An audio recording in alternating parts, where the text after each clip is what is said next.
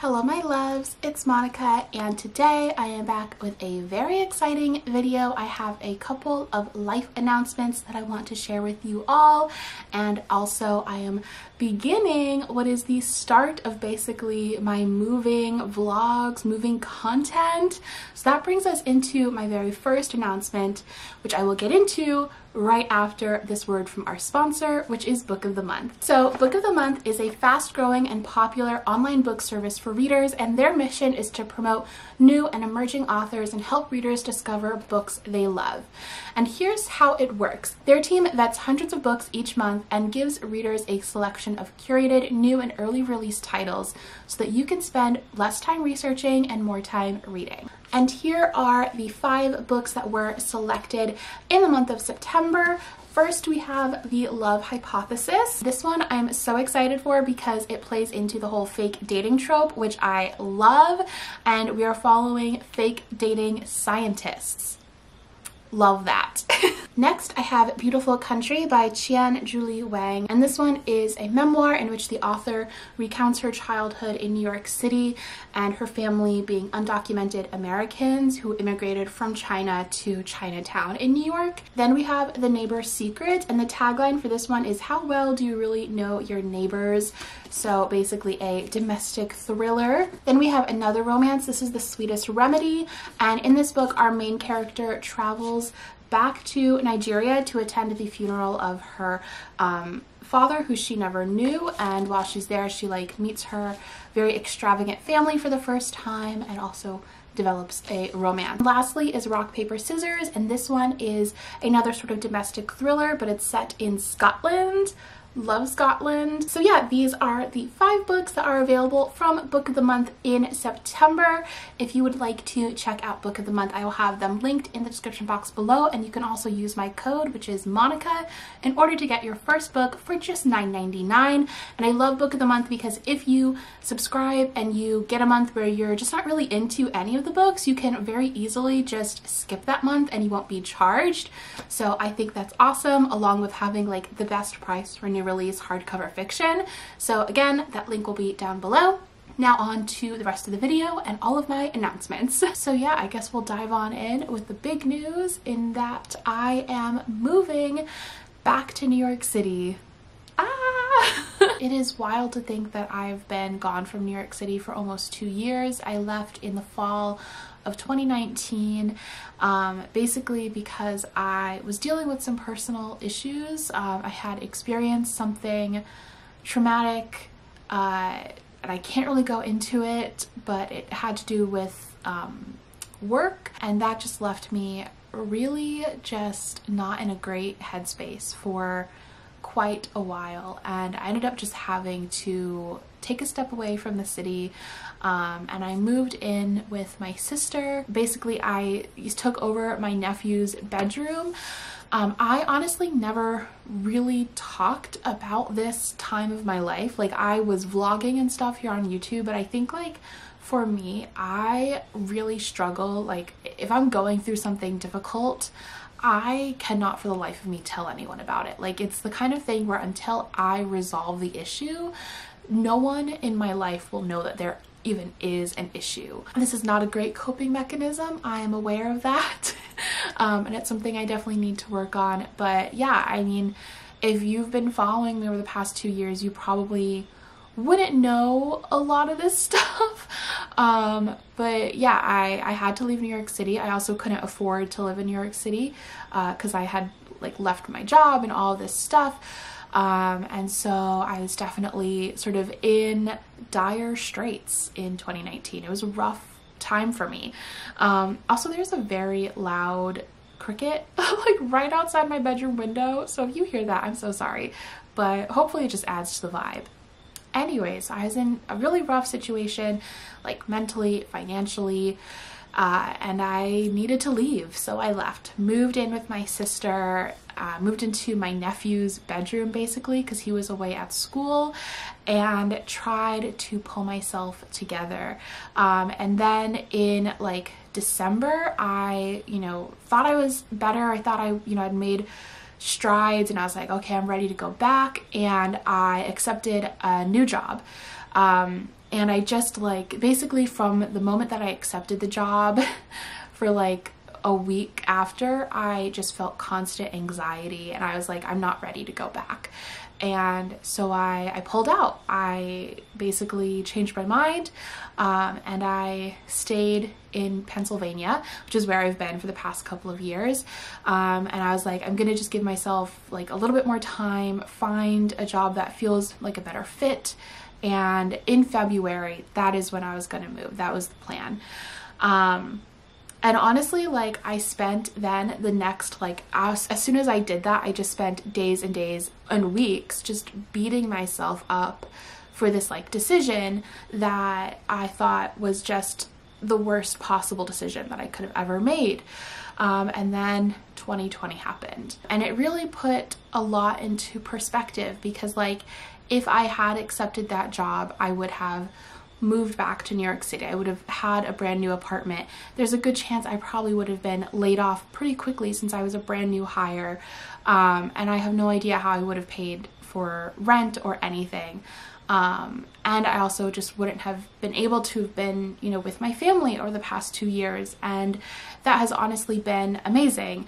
You know, at times very difficult, you know, I eventually basically my entire family was living in this house. So my sister, brother-in-law, mom, niece, and nephew, because they both came back from college, and me, so six people in not a big house. Uh, for a while there, I was basically roommates with my mom, which I we both love each other very much, but I think for both of us that was a lot. It it's been kind of a interesting couple of years, but also like two years that I, I don't want to say that I'm thankful. Like, I'm not thankful for everything in the world that happened over the past two years, but I am thankful for my family um, and that I spent this amount of time with my family. I've always been that person like when I was in elementary school and like up like honestly up into high school. I was always that kid who was like on the phone with their parent asking them to come pick them up from the sleepover. Like I hated being away from home. When I went off to college, my high school friends who to be honest I'm no longer friends with all took bets about how long I would be able to stay away from home because I get so homesick. Um, and so I, I love being home. Um, and so, you know, I am really grateful for the time that I've had these past couple of years. But at the same time, um, I do not thrive in Pennsylvania. Um, I, one, can't drive, which I mean, I guess I could fix that, but I hate driving. Uh, and if I don't have to drive, I'd really rather not. Two, there's, as far as work and like things I can actually do, there's really not much here. Um, and I know remote work is becoming more and more accessible, and I hope that that continues. But as of right now, um, being in a city is just makes the most sense for me. And then also just like socially, I outside of, you know, my direct family, I don't really have like anyone here in Pennsylvania who is a friend um, and I, I definitely need friends again. Um, so yeah, I am excited to move back to New York City. There were a lot of contenders. There was a moment there when I was thinking about LA. I'm still thinking about LA to be honest. Like I always told myself that I'd want to at least like live in LA for a year and just like be full Disney adult. so maybe one day I'll still do that, but yeah, for right now, New York City makes the most sense. It's the closest. And like, I'm trying not to constantly be really emotional. Like, I keep crying because I am really sad about leaving um, my family because I am definitely back to square one in terms of like homesickness. And I'm trying to remind myself that it's literally just like an hour and a half away from the city and I can go home very easily. And it's not like, you know, when I moved to San Francisco, this is definitely like it'll be okay. I'm trying to remind myself of that, but still, it's very stressful. It's also very scary, not gonna lie. I don't know, I'm just like a total worry wart and I worry about everybody all the time. Um, and so I also like being away from the people that I worry about all the time is gonna be a little hard for me, but I'm gonna be strong, I'm gonna be good, and I'm gonna stop crying. Sorry, I had to take a step away just for a little bit of a breather. But anyways, another big exciting update is that my mom is officially a US citizen. And this is another thing that I don't think a single I don't think a single person in my life knew about this outside of my direct family cuz again, it was just something that like I just I didn't know. I didn't know what I should or shouldn't like be open about with people and I just also have this thing where if I'm anxious about something, it's like speaking it out is like putting it out into the world and making it true almost. So yeah, I basically didn't talk about it with anybody and that's been definitely not healthy for me either. But excitingly, everything is resolved and I'm so, so proud. It's basically been two, three years of this journey of, you know, getting my mom to this place. And I'm just so like happy for her and also incredibly proud of her. Like the work that she had to do to, you know, pass her test and everything was just like uh, so much and I yeah I that day was honestly just wild. But we went to the immigration office in Philly uh, about a week ago and my mom took her civics test and all of that. And I, was just outside like having a full panic attack because I wasn't able to go in only my mom and her lawyer. And so I had read online that it usually takes like 20 minutes. And eventually 20 minutes became like a whole hour and at this point I was like like hyperventilating outside and like ready to fully just explode. Um, and apparently um, she was like approved really quickly. Um, like she did a, a, couple of questions and then she was good to go. Um, and her lawyer basically asked if she could get her oath done that day. And the officer agreed because they were about to do another round anyways so they, they decided to like basically not tell anyone and have it be a surprise which was like it was a great moment but oh my gosh waiting out there was so stressful. But it was so amazing like having my mom come outside and like hold up her you know paper and just like everyone celebrating and like seeing everyone else celebrating too like that was so magical. I got to see so many people just like so many families just like celebrating each other and it honestly was such an amazing moment that I will hold on to for a really long time. Um, and also you know I think for me immigration and making immigration easier and more accessible um, I think is so important. And I'm just so elated that like that's done you know and it's finalized it's official like yeah, that's it's it's been like honestly a constant anxiety for me um, for the past few years definitely but like since I was in high school and I found out that my mom wasn't a citizen and I've always had this like slight fear um, especially with the political climate that something was going to happen and so yeah I just I'm very thankful to be in this position right now. Um, and I also recognize that there are so many people who are waiting to be to have this moment and waiting to be in this position. So yeah, anyways, those are the big life updates that I really wanted to talk about. This video, outside of that, I'm sitting in front of my bookshelves. This is probably the last video I will be posting in front of these bookshelves because I'm about to go through and pick out the ones that I want to bring with me to New York City. So I thought I'd bring you all along on that little journey. I did just recently post a book haul, so I'm not going to talk about those books in this video because I literally just did, so those are already packed away. But yeah, I'm going to be going through all of these books. I am having a much smaller space than the, the space that I have here. Currently, I will definitely miss this room. Like I, this bedroom is like so big um, and I definitely decorated it in like my dream aesthetic but I'm also excited for a new room to decorate and make my own. I'm kind of envisioning a little bit more of a cottagey kind of 80s vibe. We'll see. We'll see how it comes out.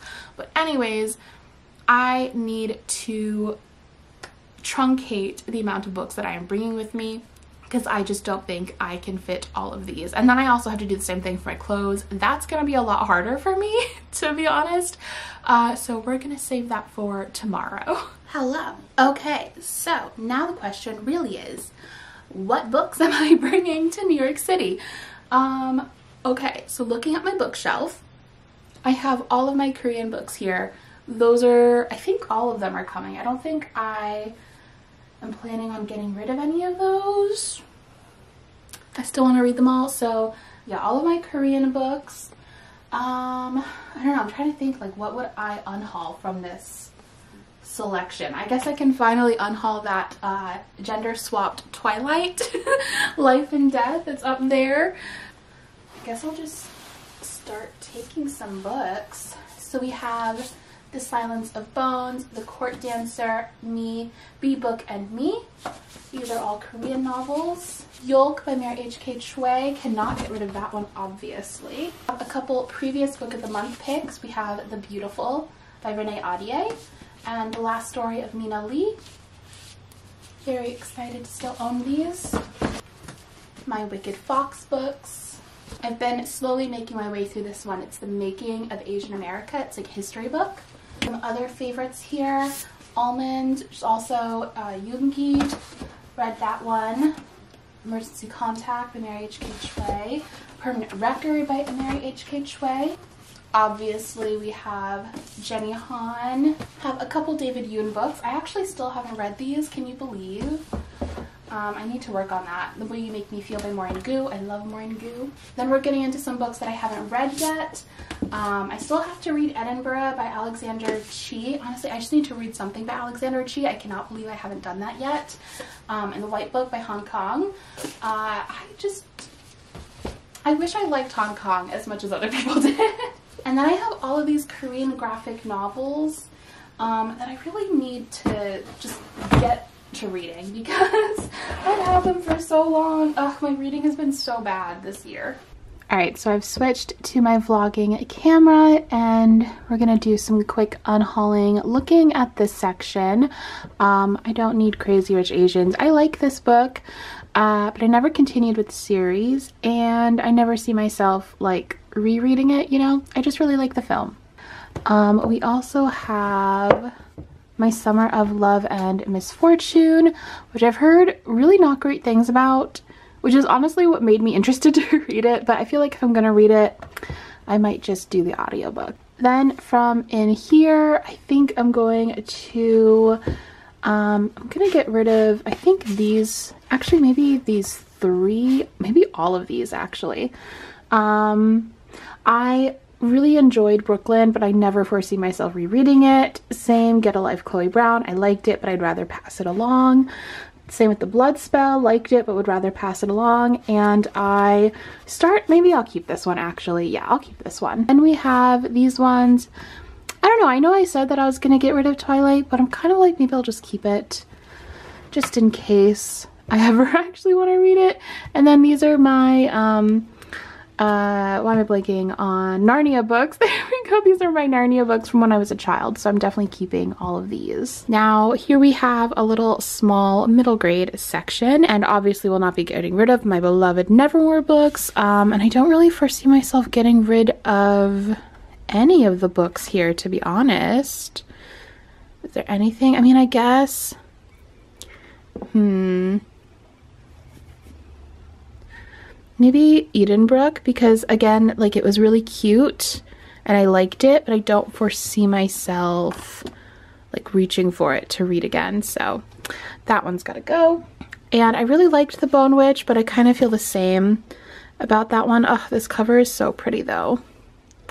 Mm, I'll hold on to that one. Ugh, no, we're getting rid of it. I can't just hold on to a book because it's pretty. Then we have Every Heart a Doorway, which is one of my favorite books of all time. I love this. Uh, so I'm going to hold on to that one. And then I have this like early edition of Down Among the Sticks and Bones, which I really liked. But I feel like I'm going to hold on to Every Heart Doorway because I do see myself just wanting to keep that first book. But I don't feel like I need to keep all the other ones. So getting rid of that. Then over here we have um, some adult fiction and classics. And I really don't see myself wanting to get rid of anything here as far as I can see. Um, and actually, I don't know. I'm kind of debating if I want to keep Legendborn or unhaul it because I really, really like this book. But again, I just don't think I'm going to reread it, you know? So I'd rather pass it along to someone who will get a really great first read out of this. Um, then we have Brandon Sanderson and Leigh Bardugo, and all of those are coming with me. No thoughts about it. Um, there's my Nikolai. Then we have some more sort of fantasy books over here. And I don't really think I want to get rid of any of these. Like I really enjoy either I read these books and love them, like Fireborne, um, or like Rebecca which is very well loved, as you can tell. Um, or there are books that I still want to read, like Vita Nostra.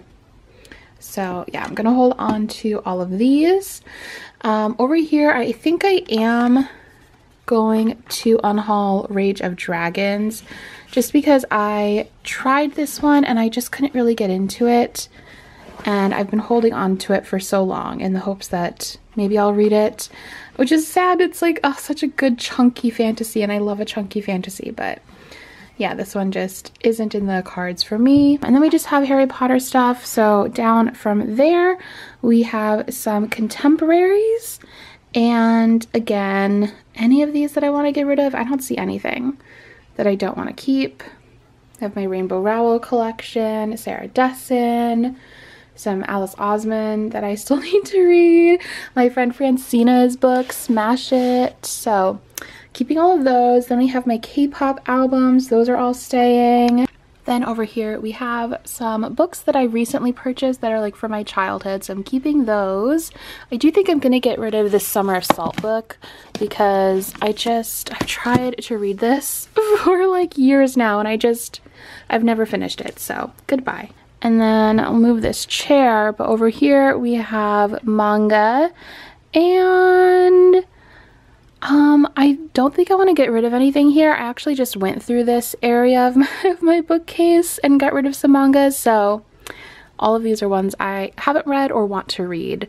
So these are all the books I have to pack. I've already packed this section, which are my Korean books but I just have to pack the rest of these. So I got rid of a little bit at least. Not as much as I think I would have liked to have gotten rid of, but I got rid of a bit. I do still have, I do still have this book spine over here. Um, but I don't really know if I see any books that I want to get rid of. So